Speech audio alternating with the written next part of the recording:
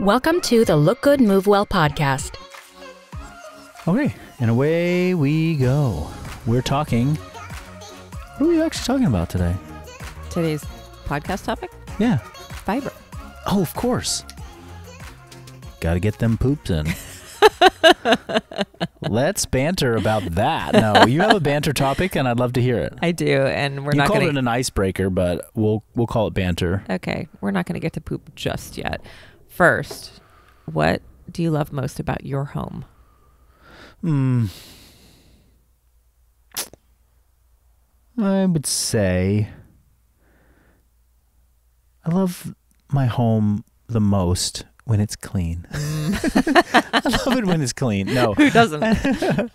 right now this is kind of like my absolute favorite time of year for the house cuz the backyard and the garden is like really really vibrant and it is.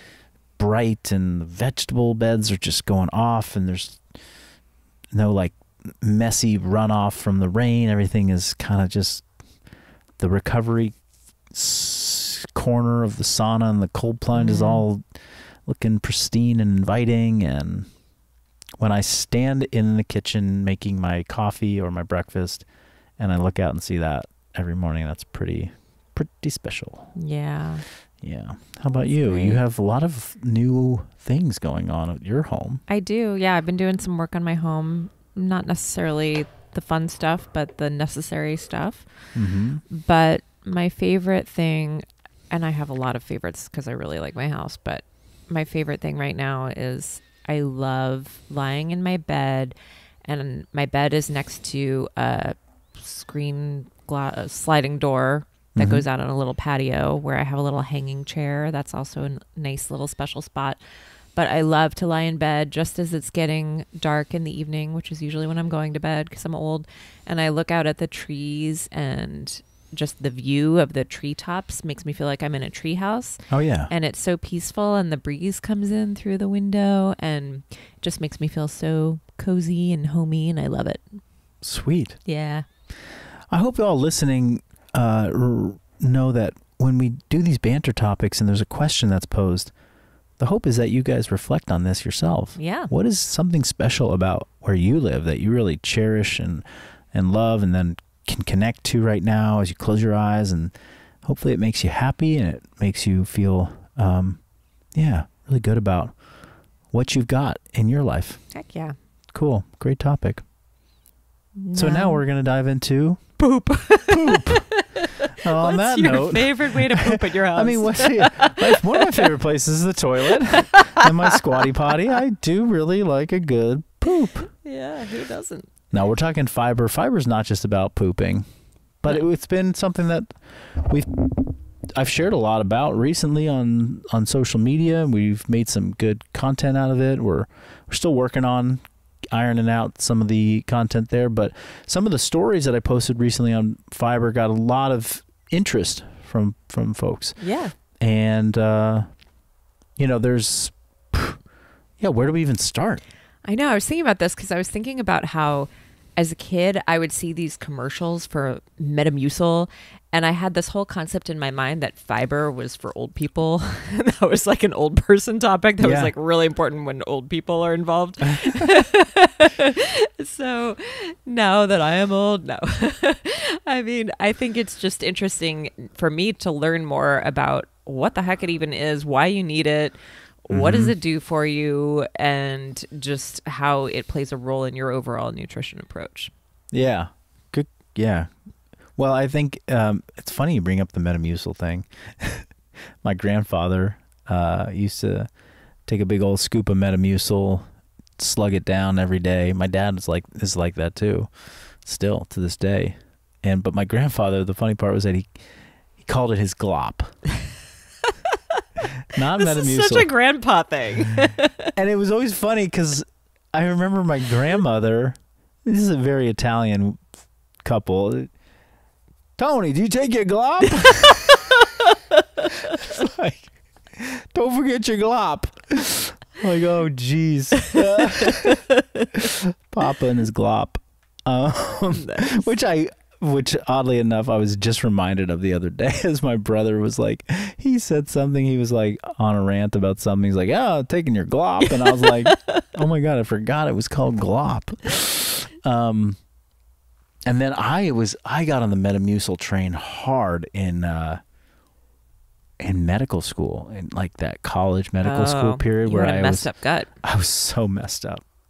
I was like basically living my whole life in constipation and just like needing glop after glop after glop. I mean, I was God, I was mixing I was mixing this sugar-free orange Metamucil with like vanilla protein powder. I was gonna say, did this go in your protein shake? Holy smokes. I had a creamsicle, orange creamsicle flavored uh it was tasty. Hey. Yeah, hey. Don't knock it till you try it, Nate. I see you give me the old yuck. Don't yuck my Don't yum yuck over his there, bro. yum. yeah. Oh, Okay. And there was uh yeah, so but what I had a fundamental issue with and I still do to this day, but it kind of got me like you know, really hating on the fiber thing was like okay, people want to take fiber to improve and one of the reasons people will supplement with fiber is to improve their digestion. Yep. But it's like, what else are you doing to improve your digestion? Like, if you move every day, if you eat real food, and if that food itself, you know, has some fiber in it, you get good sleep. You know, you you can he- like your gut's gonna be fine. Like, you can heal your gut and get nice, good poops, but you gotta be. You, it that, that can for somebody who's got a messed up gut that takes work that takes building good habits and routines change. and and building consistency. Yeah. If you eat the same things every like the same thing every day, like for you know, and you at the same time, and you go and and, and that food itself is not like horrendous. It's like a balance of protein and some produce. And you get consistent sleep. You go to bed and wake up at the same time, and you know you move your body each day. I promise, after like two weeks, your gut will be healed. You'll be like pooping magics, you know, unicorn magic poops, right? Um, but you know, that's work. That's habit change. That's I gotta change. Oh, forget it. I'll just have some glop. Take, the thing. Take the glop, Right. right? Um, and that might not even work for everybody. And that's why, like the digestive aid aisle in the you know grocery store or the drugstore is got 50 100 different products Yeah. you know there's there's like the super strength glop there's the Ex-Lax there's the you know all the laxatives there's the enemas the Antacids and- antacids like Mhm. all you name it um so this episode is not about talking about fiber just to like get over terrible gut health um that's like a deeper gut health you know topic Yeah. but yeah, I mean, I just was like, my gut was broken, and I kind of grew up in this like household where, you know, that was just part of the norm. Like you just take this, and this gets you moving again, and so I kind of was just like, I was on the medicine 2.0 mentality of like, this thing is broken. Here's the symptom. Here's the fix. There you're good. You Yeah. just take this thing. When really I was like, how do I actually heal this thing from like completely so i don't have to like be reliant on this and then fast forward many years later where it's like good digestive health. What are the what's the value and the benefit of having a little bit more fiber in your diet as is? Yeah. like i'm already pooping good. So if you're in that category and you're listening you might be thinking well there's no reason for me to have more fiber. I'm fine. I'm regular. It's like well maybe there is actually. You know maybe maybe the fiber has some added value to you that has nothing to do with you hitting the bathroom every morning after your first cup of coffee. Yeah. So yeah, what is what is that? What are those things? Yeah. That's and what I is would love to fiber even? Right. Right? How does that work? What's going on in there? What is what is Yeah. fiber? right. Is it fiber and er? No. Fiber is uh, you know, as simple as I could we can define it and describe it.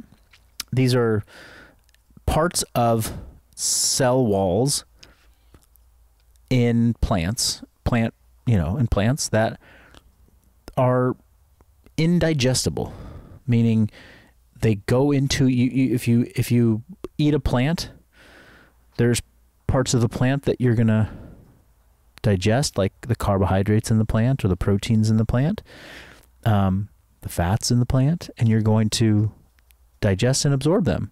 But then there's all this other plant material that doesn't. It's they don't. They're they're it's carbohydrate, but that is indigestible carbohydrate. Like we don't have the the mach- machinery in our in our gut to break it down.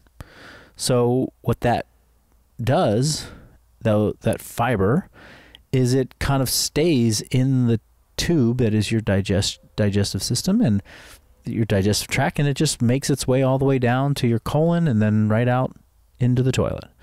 Along the way, it does it feeds some of the bacteria that are in there. Um, and in, in the process of feeding some of the bacteria, it might lead to some other uh, byproducts that we do absorb and are very healthy for us. Um, it has the it has an impact on which microorganisms, bacteria in our gut, you know, thrive and which ones don't. Mm-hmm. Um, so, but at the end of the day, it's something that you eat from plants that doesn't get absorbed. Therefore, it doesn't add any calories to your um, to your body. You're not get, getting energy from it. It's just a, a you know plant cell walls that can't get broken down. They keep going. Some things that happen with fiber are um, when you consume fiber, and so here's the Metamucil concept. If you've ever taken Metamucil and you've put it into some water, when you put it in there and you stir it up, it just kind of looks like, you know, a suspended like powder. But then if you just let it sit there in the water for a little while, you come back an hour later, you stir it up, it's kind of this gloppy thing. It's like kind of gelatinous. What's going on? Do that a little longer, same thing, it just gets a little thicker. So this fiber is absorbing water. Where the fiber goes, so does water go. So that kind of is what can happen with the fiber in your digestive system. So you take a supplement that's got fiber in it, it's going to draw some more water into the digestive tract, which is in turn going to help aid in, you know, elimination, getting you to poop, right? This is uh, also the same concept with a saltwater flush. This is another way if you've if if you're ever constipated, then a saltwater flush is a pretty effective way to get you to go poop. You take a very salty water, like eight ounces with like so much salt that it almost it's like it's disgustingly salty. Like ocean water salty. And you just chug that. That salty goes into your your small intestine and then once it's in there, guess what? Where salt is, water goes. So now your digestive system is going to pull all this water in from the surrounding tissue in your abdomen. It's going to pull it into the digestive tube. And now you got this big old you got all this water in there and what what is water wants to get out, right? So it just starts flowing down and it will help you push out, you know, you know your whatever bowels movement that's not coming out. Yeah. So that's where fiber can, you know, that's kind of the the fluid dynamics of that, I suppose. Yeah. And then the other thing is that when you have uh, fiber in your digestive system, you have uh, we we have this um, there's this small organ, the gallbladder, Mm-hmm. that is there to help produce um, bile. It when you eat like um, we need when we eat things like fat. You know, fat doesn't mix well with water. People know this when they mix oil and vinegar together. You don't they don't mix, right? So when you get fat down there into your digestive system, you need something to help break it up. and to help it mix in with everything else. So cuz you want it to break up and mix in so that the digestive enzymes can go to work on it and you can absorb that. So bile from your gallbladder is it's kind of like a it's like a it's like soap, right? Soap helps to get the grease off. Yeah. It helps to break it up. And that's what the bile is doing. It's going to break all that up. Well, when fiber arrives in that portion of your small intestine, bile kind of you get some secretion of bile out there. Now, I don't want to get one. I don't want to get too detailed on this because I think I might be maybe forgetting some of the nuances of my uh, digestive physiology. But essentially, in the production of bile, this is one place that people get rid of cholesterol. Like you have to you have to use cholesterol. You have to take some cholesterol to make bile. So every time you use you know use up your bile, it spits out all the bile that you made. You're kind of having to like remake more with a little bit of cholesterol. So if you're having a lot of fiber, you're squirting out a lot of bile to break up that fiber and mix mix it all up, right? You're getting rid of some cholesterol. Yeah, now I'm getting to the part that people are going to be familiar with. Oatmeal helps lower cholesterol. Right. Right. Right. Why? How the fuck does it do that? Right. exactly. because oatmeal's got some fiber in it. Mm. And so when you eat the oatmeal, it's heart healthy. It helps lower your Just like cholesterol. Cheerios. exactly. Yeah. Um that's there's truth to that. Why? Yeah, It's not yeah. because it's like some magical thing. It's because it's got some fiber in it. Right. Right. So you just eat fiber, you're gonna be good. Mm-hmm. You know, oatmeal's not bad, but it's like oatmeal. You can get like what three to six grams of fiber, but you also get a bunch of extra carbs, and you know, it's like, do you need those carbs? Because if you don't need the carbs, and you can get that much fiber from a plate of broccoli too. Yeah. You can get that much fiber from, you know, half an avocado, and maybe that fits better into your, you know, meal plan or whatever. Or I'm loving this marketing move from these cereal Yeah. companies. it's heart healthy. yeah. Um, so yeah, a lot of people started eating oatmeal every day because of that. Right. Yeah. Fascinating. Okay, great. So, how would one know if I'm low on fiber, eating too much fiber? How the heck do you gauge that? Well, fiber. I mean, we can also talk about like the sources of fiber, but you know, you can. There are uh, recommended daily allowances for fiber, and um, you know, I think I've read for every like, and and this is not like the the RDA, but like a good maybe a good rule of thumb might be for every thousand calories that you eat in your diet aim for anywhere from like 14 to 20 grams of fiber. Mm-hmm. So if you're on like a 2000 calorie diet, then like that's we're talking 30 to 40 grams of fiber a day would be good. So that's like the average, you know, the, the standard the standard diet that all the food labels are built off of is the two, American diet. the 2000 calories a day. Um, you know, that 30 to 40 grams of fiber would be kind of in that zone. Okay. Now, I think the RDA for that is even lower. Um, but that's just a, that's the kind of the, the number that I play with. So I'm eating three, three, 3,500 calories, sometimes 4,000, you know, I'm somewhere between three and 4,000 depending on the time of year and what I'm like, what I'm doing. But like, okay, so now we're talking like 45 to 60 or maybe even 75 grams of fiber. And that is, that's a lot more than most people have, like way more than most people have. And way above whatever the RDA recommended daily allowance is, you know, uh, that people need to get. Um, so why would I even aim for that? And what's the what's what would be good about that? Well, fiber itself, the vehicles for fiber in in the whole in the food world are there's a lot of I mean the foods that ha- are high in fiber also carry a lot of other great qualities with them. Particularly from an energy balance, weight maintenance perspective long term. Because I have come to really appreciate just how important it is for people to uncover and discover habits, routines, and and choices, food choices in general that they can that are going to become staples for them that they can more effortlessly have and maintain good healthy weight for long periods of time. We probably all have about 20 to 30 foods that are our regular foods. If you can make the majority of those foods that are relatively high in fiber, then guess what?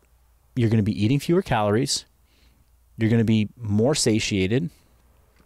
And therefore, you're going to have a much better chance long term, not like day to day, but like over the course of months, years of just being in better energy balance, having to think less about how am I going to maintain a good, healthy weight. The same thing can be said for somebody who walks 10 to 12,000 steps a day. Somebody who walks 10 to 10 to 12,000 steps a day, regardless of everything else you do, they have an advantage in maintaining healthy weight long term. That's what the evidence and the studies show. So become a person who walks 10 to 12,000 steps a day. Become a person whose 20 out of their 30 main foods that they eat on a regular basis are high in fiber. Aim for that, you know, and, and create a routine and a ritual around having more fiber in your day. Combine those two things, like you might just un that might be your unlock for maintaining healthy weight for a long time and not having to like constantly think about how am I going to get, you know, my weight managed. Yeah. So that's a huge reason why I have placed an emphasis on that in my, you know, building out the foods that work for me, um, or that are going to be my main staples. And again, it comes back to the fact that when you eat fiber, draws water into your system, which fills you up. It, you create a stretch reflex in the gut that basically sends a signal to the brain, hey, I'm kind of full. That's important. Mechanical stretch of the, the stomach and the GI, that communicates fullness back to you.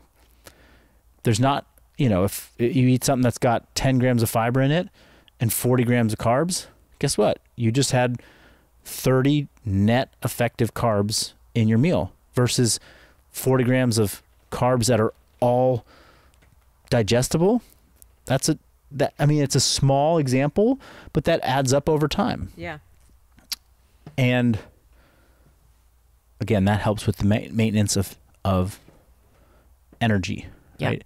Now, there's other more nuanced benefits of having fiber in the diet, but this is why when they look at sort of like these big, uh, um, they're called meta analysis, like where they basically it's a research paper that looks at all the research papers and it accumulates all the data and then it like makes a general statement about all the fiber research tells us that people who eat fiber this much a day have all of these better health outcomes. And it doesn't tell you exactly what the cause is of that or like what is it about fiber and what's the particular thing that it does. Yeah. But it's uh, really plausible that just this general more fiber equals better weight maintenance or better energy balance is why those people who consume it have better outcomes is because they're not overeating as frequently and being in an energy surplus which leads to all the all the chronic illnesses you know of obesity insulin resistance heart heart disease you know etc Yeah. So, how do you get your fiber? What are your favorite foods or how do you work it in? sort of the way that I, you know, one of the the ways that we've communicated, like how do you build a plate of food? Yeah. It's start with protein, and protein doesn't really have much. There's like depending on the protein source, there's not a lot of fiber in protein, especially if you're eating animal protein. The second thing is okay, then put veggies on your plate, and then the next part is put a carb on your plate, optional. And then it's put fat on your plate. Optional. But the two that like i've been really hammering lately is like you put protein on your plate then you put veggies on your plate. And then you go down. Mm-hmm. well plants and the plant materials and the plant foods out there they have varying levels of car- of fiber in them some have more some have less then you move to the carb some carbs and i include fruit in this like ca- fruits are carbs and rice, pasta, oatmeal, breads, those are other carbs. some have more fiber than others. So as I'm building my plate each day and each meal, I'm just picking things in those veggie and, you know, carb categories that have a bit more fiber in them. Um, certain fruits, certain berries, certain. uh, Oh, and then, sorry, even the fats. When you get down to the fats, avocado is a fat that I would add to my plate that is got a, a, a an abundant amount of fiber in it, right? Whereas if I put butter on my plate, which is a great fat source and another totally acceptable one, it doesn't come with fiber. So not that I don't have butter, and not that I'm like against it, but if I'm trying to build out, these are the foods that are going to be my go-to that I'm going to mix and match and use. Avocados are higher on my fat list than butter is because it's got some of those add uh, additional, you know, benefits to it. Yeah. And now some a little bit of butter that might go a long way for me too because it's got some nutrients. So I might want to have that there. But the avocado's got some more fiber. And then of the fruits that I really like, well, apples are high in fiber. Pears are super high in fiber. Berries, in particular, blackberries and raspberries are super high in fiber per, per you know, uh, quantity. You know, Yeah. let's say a cup of it. Um, so those are going to be on on my. I mean, people know that. Like, why you eat so many apples, Mark? It's like, oh, it's because you know when pears are in season. Hey, that's a go-to. That's a staple. And then when it comes to like veggies, like I eat decent amount of carrots. Got some decent amount of fiber there, right? I eat the. I'm back on the big ass salad. Like, I can get a lot of fiber in that one, you know, dose. Um, and then there's other foods that have a lot of fiber that I haven't really gravitated towards a ton, but like legumes, chickpeas, uh, those have a high, a lot of fiber. Um, some seeds do as well. So like chia seeds, flax seeds. Um, that's something that I've kind of like. Okay, I want to. How do I? Re- I want to reintroduce that into my my group of thirty foods that are kind of staples, and maybe it's a teaspoon or a half a tablespoon into my Greek yogurt, into the overnight oats or something like that. That's Yeah. another way. Um, I have oats periodically, even potatoes, sweet potatoes. So those could be other starch, starchy things that carry with them some some fiber. Um, and it's just good to like track this stuff. People are like, oh, I've never seen a tracking app that tracks fiber, and I'm like, BS. Like you just haven't looked for it. Like all the tracking apps Yeah. have this. It's yeah, it's mine just does. yeah. It's like you know we're so focused on the macros. It's like you know swipe over in yeah, Cronometer. Yeah, yeah, and- yeah. Swipe over on any of them. Just Yeah. like, um, and then, yeah, and then additionally, like, at this point, I've kind of been looking. Okay, where's my sweet spot where I, because if you have way too much fiber, okay, and then here's the dark side of it. It's like if you go from like I eat 10, 15 grams of fiber a day. And then you're like, I'm gonna get up to sixty because Marcus said I gotta do, you know, Right. do the math on this. You know, you just quadrupled your fiber intake guess who's going to be like really happy about that? All the microorganisms in your gut. Like you're going to be like feeding these bacteria with all this new fiber, and things are going to get a little wild in there. There's going to be a party, and you're going to be like farting and like, whoa, this feels kind of. I'm bloated. Marcus, this is good for me. I'm feeling bloated. And it's like, yeah, pump the brakes. Like you wouldn't go from I walk 2,000 steps a day on average because I checked it on my pedometer, but Marcus said I should go 12,000. So I'm going to I'm gonna six times that. Like your ankles and your calves and your hips are gonna hurt because Yeah. you walked so damn much. Yeah.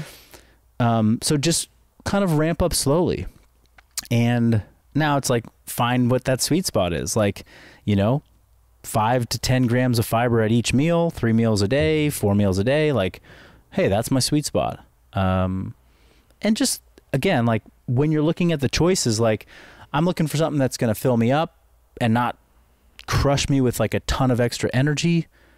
This is this is a this this choice has a little bit more fiber in it. Awesome. And do you recommend supplementing if needed or at what point? I think it's sort of supplement as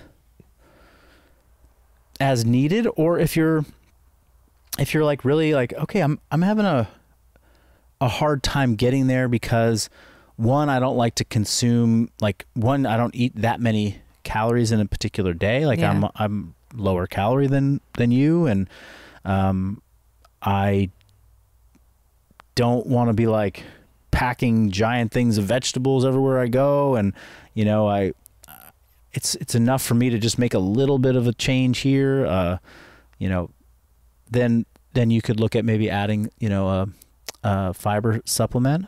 I recently started. I switched my morning greens, um, and it has like an additional. This new one I'm on uh, has like an additional six grams of uh, fiber in it. Um, and that's not why I started taking it. I was like, I was taking a green, a morning greens, uh, and this one just tastes f- so amazing.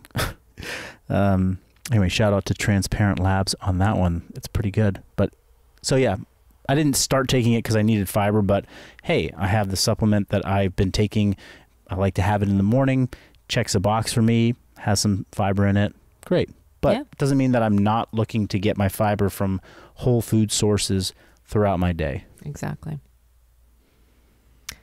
That's all the questions I have on fiber. How are you going to take that information and then put it into practice? Well, I mean, it's great to know because I have been aware of this fiber thing, but I've really spent the last month or two just getting the hang of tracking my food again and just meeting my calorie and macronutrient needs. Mhm. and that's still my main focus is my first priority is to get my protein and my calories and get a pretty decent balance of everything else. You know that i choose whole foods and ingredients the majority of the time for those. So i'm not super concerned about uh, you know lacking a lot of things right now in my diet but it's like okay well now when i feel like i have gotten into a steady rhythm of that I can swipe over on the old Cronometer and check out, okay, I've got my baseline. How much fiber is that? And Yeah. maybe experiment with what if I intentionally include some more fiber rich foods, you know, bump that up a little bit. Would I notice a Yeah. difference in how I feel?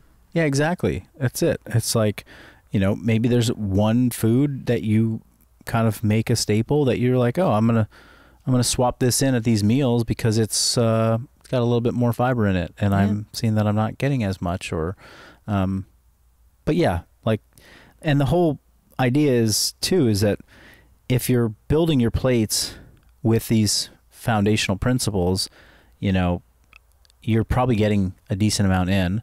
Um, but it's always good to kind of track it and check. And I think that it's worth looking at that specific number, swipe swipe over on your, you know, on your on your tracking app, and uh, because you can fill up a plate with some veggies pretty quickly if your plates, depending on the size of your plate. Like I put, you know, three baby carrots and you know three giant leaves of romaine, you know, for my wraps. Yeah. And so it looks like you've got a lot of veggie on the plate, but that that in total, it's just it's three leaves of romaine lettuce and a couple carrots, and then the rest is just meat and you know uh, some butter, right? Yeah. So it's a it's a balanced plate, but at the end of the day, if you eat a number of meals like that, you might have only gotten in you know ten grams of fiber during the day, or, or even less. Yeah. And that's the thing with veggies, it always surprises me how small their number is calorically. Yes. So I'm like, oh, if I'm really gonna like make a decent chunk of my calories vegetables, like Mhm. you can eat a lot of vegetables. Right. That's Yeah. why that's why going and maybe just looking at what are of the top 10 most dense fibrous foods that are out there by weight. What are three that I really like that I can Mhm. just include on a regular basis? Yeah. You know, and for me it's it's the berries, it's um avocado, Mm-hmm. um and you know apples have been, you know, or pears when it's season season. Mm-hmm. But the, the buying a bag of frozen mixed berries, you know, is a really inexpensive way to get berries. If you buy fresh berries, they can be really expensive, which I, I'm not saying you shouldn't buy them. It's just that, you know, I have like a bowl of fresh, you know, frozen, excuse me, of frozen berries, you know, almost every day. And in that bowl, I get, you know, 10 to 12 grams of fiber alone Yeah. um, and it's not like a huge thing of calories and it's kind of it's really satisfying it feels delicious I mean, it tastes delicious it's like it's a kind of a sweet sweet treat. So it's just a good way to kind of get get some of that in. Awesome. all right. If you have more follow-up questions about fiber please let us know. And as always if you have other topic suggestions or questions that you want us to dive into we're all ears. Head over to instagram dms and shoot us a DM at Satya Khan, at Marcus Filly. We're happy to include you in the podcast. See you next time. Bye.